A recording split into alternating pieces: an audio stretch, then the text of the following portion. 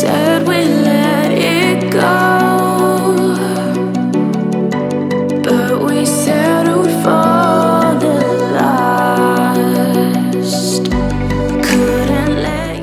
Hey Leute, willkommen zum heutigen Video. Um ein paar Missverständnisse beiseite zu stellen, wollte ich einfach ein paar Punkte sagen. Zum Beispiel, dass die Kamera mir zur Verfügung gestellt wurde. Ich habe keinen Cent dafür bezahlt, aber trotzdem vielen Dank an die Firma. Schaut unten vorbei, alle Links unten. Aber den Rest des Equipments habe ich selber aus eigener Tasche bezahlt. Zum Beispiel das Audiogerät, das viele Vorteile habt. Ihr könnt damit äh, gewisse Sequenzen aus euren Videos nachvertonen oder ein Schraubervideo machen und dann die Stimme nachsprechen. Erspart euch viel mühsame Dreharbeit während der tatsächlichen Dreharbeit, also dass ihr nachvertonen könnt, hat Vor- und Nachteile, aber dazu komme ich nochmal irgendwann anders in dem Video. Auf jeden Fall wollte ich noch sagen, günstiges Setup hat einfach den simplen Grund, dass viele Leute einfach nicht 3, 4, 500 Euro für ein Kamerasetup fürs allererste haben. Und Leute, sagt nicht, dass es ein Haufen Geld ist für eine 72 Euro Kamera, weil da kommt so viel Zubehör mit dabei, so viel Zubehör habe ich allein an nachträglichem Zubehör für mein GoPro Setup investiert und dann ging mir auch noch die GoPro kaputt. Also Leute, ist meine volle ehrliche Meinung. Ihr müsst kein teures Schnittprogramm kaufen. Ihr könnt die Kamera immer noch als Zweitkamera verwenden, ne? falls ihr beschließt, dass euch die Kamera nicht reicht und dass ihr wirklich die vollen 4K haben wollt, die bestmöglichsten, bestmöglichen Aufnahmen, die besten Frame-Raten, einfach das schärfste Bild überhaupt haben müsst, dann müsst ihr halt den fünffachen, sechsfachen Betrag investieren. Und ich bin mir sicher, Icon-Taste wird auch ein Modell nachschieben, wo sie sich nochmal um einiges steigern. Aber schaut euch am besten das Video an und entscheidet selber, ob es was für euch wäre. So Leute, ihr seht die wunderschöne Location. Es regnet, wir haben uns unterm Baum untergestellt. Das Video sollte gedreht werden. Auf jeden Fall habe ich hier einfach mal alles hingestellt, was ihr als Motovlogger braucht. Und ich benutze wirklich absolut nicht mehr. Also erstens ist es wohl offensichtlichste, ihr braucht eine Kamera. Am besten eine mit einem Gehäuse bereits integriert und Halterung, die schon zahlreich im Umfang dabei sind. Das ist vorbildlich bei der Icontex. Ähm, dann braucht ihr noch ein Audiogerät. Ähm, ich habe jetzt eins von Evister, keine Ahnung, ich weiß nicht, wie man das ausspricht. Ähm, ihr habt hier verschiedene Einstellungen, ihr könnt über das Mikrofon aufnehmen, ihr könnt einfach so über die Mikrofone hier oben aufnehmen. Ist sehr umfangreich von den Features, ist auf jeden Fall empfehlenswert, wenn eure Kamera kein externes Mikrofon unterstützt, dazu gleich mehr. Ihr braucht eine Powerbank früher oder später, ich habe mir jetzt eine teurere vom Mediamarkt gekauft. Äh, schaut, vielleicht haben sie Angebote oder sonst wie, da könnt ihr ein USB-Kabel einstecken und dann mit dem Anschluss, den die Kamera hier bietet, zeige ich euch gleich, selbstverständlich. Die Kamera auch unter der Fahrt oder halt während ihr irgendwo eine Pause macht, aufladen, damit ihr noch weiter aufnehmen könnt. Natürlich ist ein zusätzlicher Akku im Lieferumfang enthalten, aber dennoch könntet ihr mal eine Weltreise oder so planen, dann wäre auf jeden Fall eine Powerbank von Vorteil. Was ihr noch benötigt, das ist natürlich ein externes Mikrofon.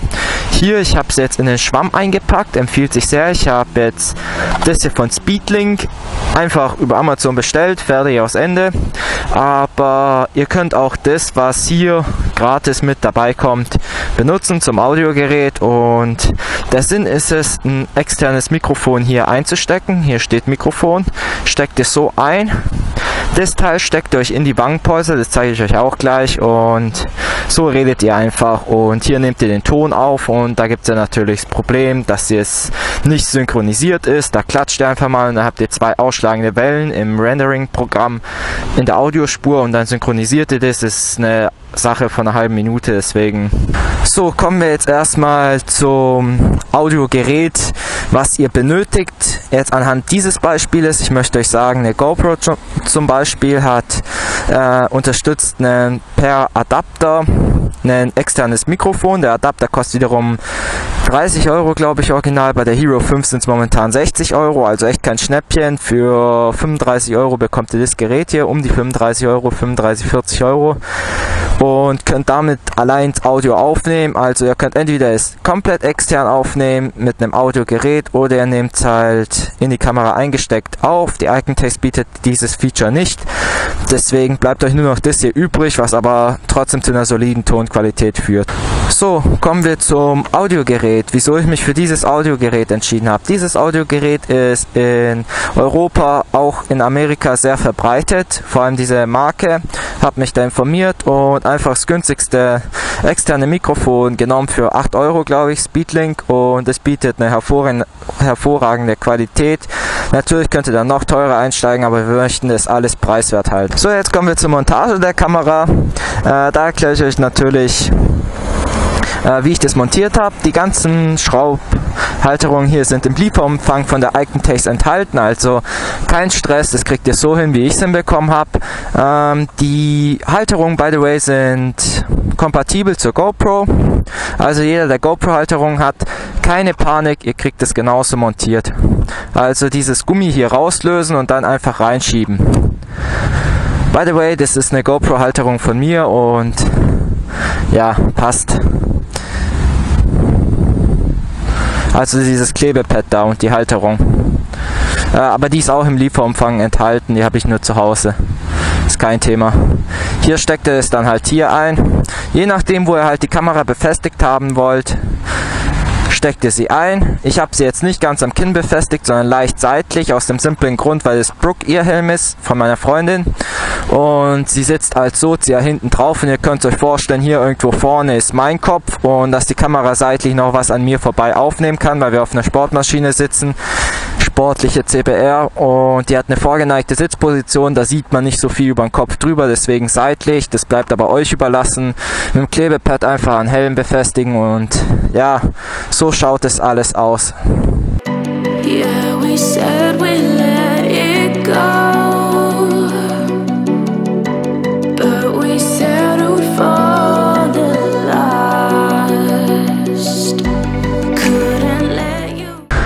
So Leute, das allererste, was ihr macht, ist dieses Audiogerät hier zu nehmen und in eure Tasche zu stecken, nachdem ihr es eingesteckt habt mit dem externen Mikrofon.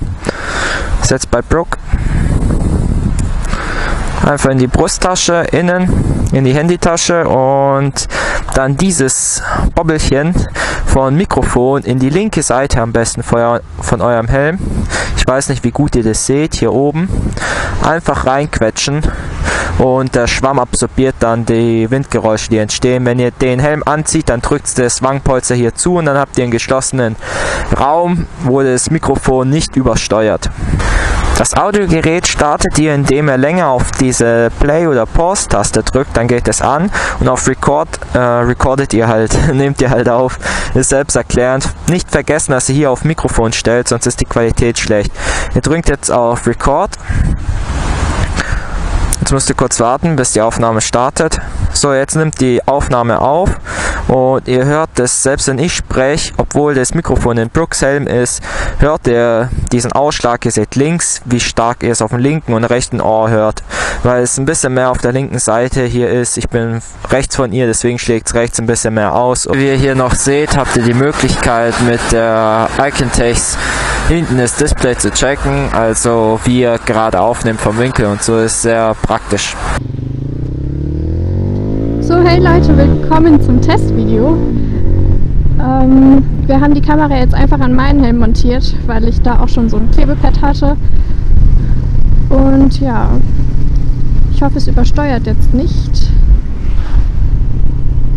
Ähm, ich wollte einfach zum Testen mal einfach erklären, warum Hier noch ein paar Tipps zum Schluss. Das Speedlink-Mikrofon hat sich als äußerst nicht zufriedenstellend erwiesen. Für mich zumindest. Es hat gnadenlos übersteuert. Deswegen empfehle ich euch das Zäumen ZM1, welches ich persönlich seit Jahren benutze.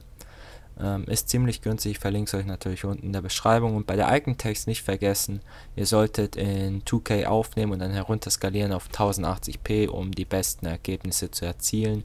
Und einfach die Audiospur an die Videospur angleichen, dann passt es auch. Danke fürs Schauen. Ich möchte mich nochmal herzlich bei Icontext bedanken für die tolle Zusammenarbeit. Schaut unten in der Beschreibung, alles verlinkt und bis zum nächsten Video. Lasst ein Like da, falls es euch gefallen hat. Ciao Leute. Can't seem to hold you like I want So I can feel in my arms. Nobody's gonna come and save